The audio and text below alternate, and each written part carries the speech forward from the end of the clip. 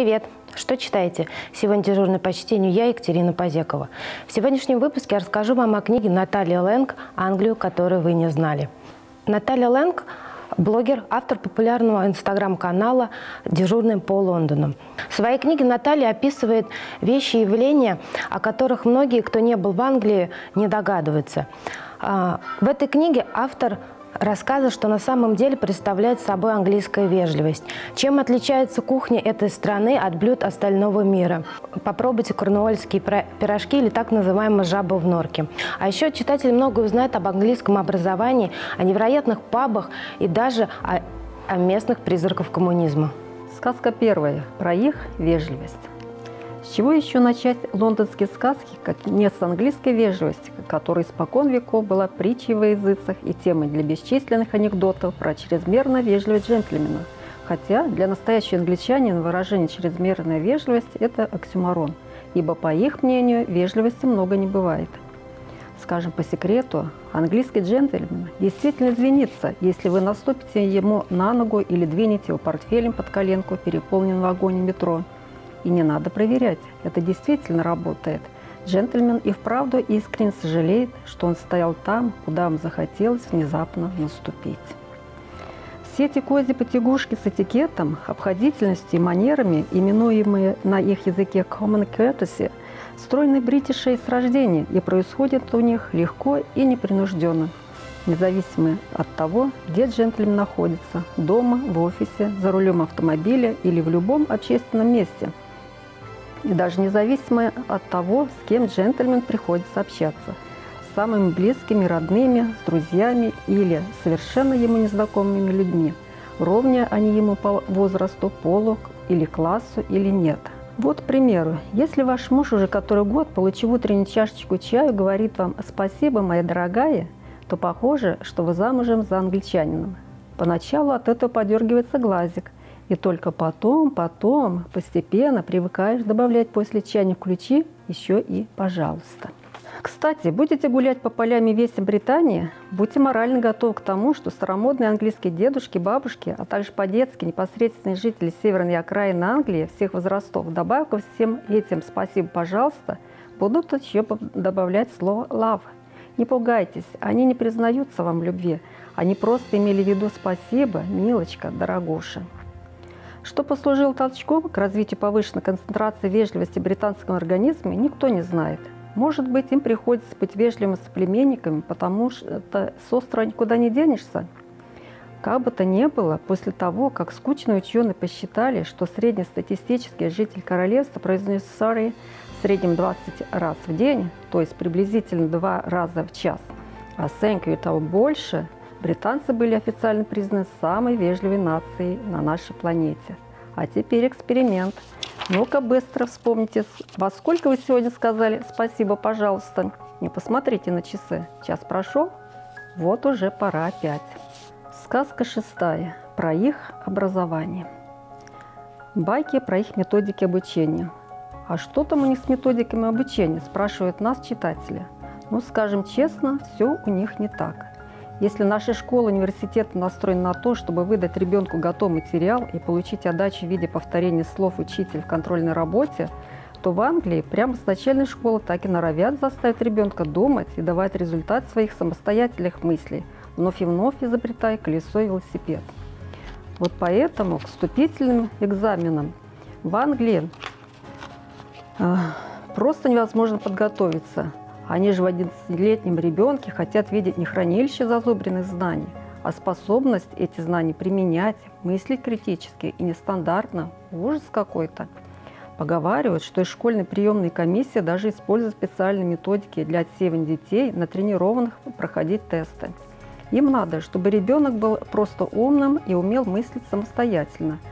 А чем ученик старше, тем серьезнее должна быть его степень критического мышления – Понятие, к сожалению, неизвестно нашим школам. Критически мыслить, мыслить ребенок должен так, чтобы на занятиях седовласая профессора могла разговаривать с ним на равных, чтобы обе стороны образовательного процесса были готовы к профессиональному обсуждению животрепещущих научных тем, а не бездомному переписыванию изложения на экзамене лекций образца 20-летней давности. Нет самостоятельных мыслей, и колесо не изобретается. Тянет скачать курсовую работу из интернета и протащить на экзамен шпаргалки? Ну что ж, значит, академическое образование – это не твое. Без сожаления сообщит вам какой-нибудь ученый эльф и укажет на выход с вещами. На все ваши возражения они ответят вежливым, но твердым «sorry about that», что в переводе с их английского означает, что пришло для несостоявшегося студента время выбирать себе рабочую профессию по душе. А бритиши и не парятся по этому поводу. Просто они убеждены, что главное это в жизни не корочки получить, а состояться, успешно самореализоваться. Спросите вот хотя бы Ричарда Брэнсона. А оно им надо, это образование? Вообще идея о том, что академическое образование – это совсем не обязательная часть жизненной программы, родилась в королевстве давным-давно – все же понимают, что кто-то должен торговать селедкой, строгать стулья, обжигать горшки и укладывать кирпичи их родовых замков ровными рядами. Ну, сами подумайте, ведь если все будут сидеть в мантиях бакалавров и магистров, многозначительно морщить лоб и важно надувать щеки, то некому будет выращивать бобы, печь йоркширский пудинг и готовить вкусный воскресный розбив. И они неуклонно придерживаются этой точки зрения до сих пор. В отличие от нас, бритиши не считают наличие красивого диплома показателем успешности.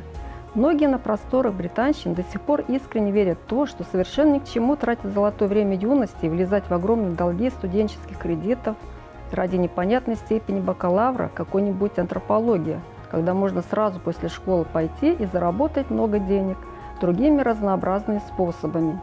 Им не слабо и без образования бизнес какой-нибудь учинить, Благо в их крови понамешаны гены их славных предков, бесстрашных пиратов, авантюристов и хитрых зажиточных английских лавочников. А предпринимательство в королевстве веками было почетным занятием. Кстати, а вот какие отзывы оставляют читатели? Книга написана с большой любовью и искренностью. Всегда интересно читать подобные истории. Чувство юмора, присущее автору, делают чтение еще более привлекательным. Всем поклонникам Англии рекомендуется. После прочтения ваша любовь станет в разы больше. Автор заражает своей любовью к стране. Даже если вы не хотели до этого посетить Туманный Альбион, после книги точно захотите. Начала читать со знакомительного фрагмента и не заметила, как он закончился. В книге много интересных фактов, причем написано все в легкой для восприятия форме. Читала с удовольствием. Когда узнаешь о правилах и традициях другого общества, становится проще принимать наши различия. И, возможно, даже задумываешься, как перенять положительный опыт. Получила огромное удовольствие от чтения. Часть, посвящая, посвящающая английской кухне, читала ранее, но без сожаления повторила. Очень познавательно и с юмором. Книга замечательная. Читая ее, читая ее, получаешь огромное эстетическое удовольствие от того, каким языком она написана. Правда, я не удержалась и маркером отметила многие абзацы и фразы, которые хочется перечитывать не один раз. И не только самой, но и зачитывать друзьям. Давно мне не попадались книги, написанные с такой доброй иронией и чувством юмора. Я, конечно, не случайно приобрела эту книгу. Я очень давно ее ждала, так как несколько лет подписана на Наталью в Инстаграме. Все это время с интересом и удовольствием читаю посты об Англии и, в частности, сказки на ночь. Так что практика показывает, что старой доброй Англии идея пойти примерить квадратную шапочку с мантией бакалавра или какой-нибудь магистра возникает далеко не у всех. А может быть, это и правильно? Байки про ужасы в частных школах. А что этому все хорошим да хорошим?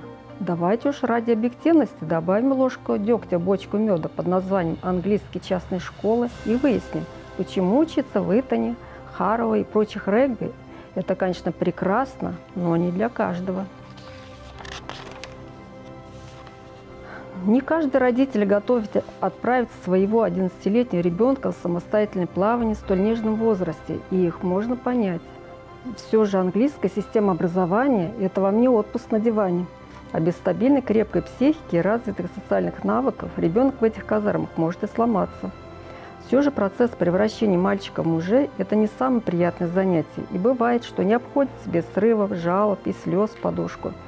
А кроме того, есть огромный риск того, что через пять лет обучения родители получат обратно совершенно чужого человека, и результат обучения может им совсем не понравиться. Великолепный Дамиан Льюис, тоже выпускник Итона, как-то честно признался, что своих детей он частную школу-интернат ни за что не отдаст. Какая бы элитарная она ни была и какой бы светлое будущее ее выпускникам не светило. Слишком уж свежа у него память о невыносимом психологическом напряжении, которое ему пришлось пережить в Итоне. Некоторые выпускники вообще говорят, что после Итана вся остальная взрослая жизнь с ее проблемами кажется им легким и приятным развлечением. И тем не менее, именно в этих школах происходит волшебное превращение упрямых подростков не менее упрямых и прекрасных джентльменов.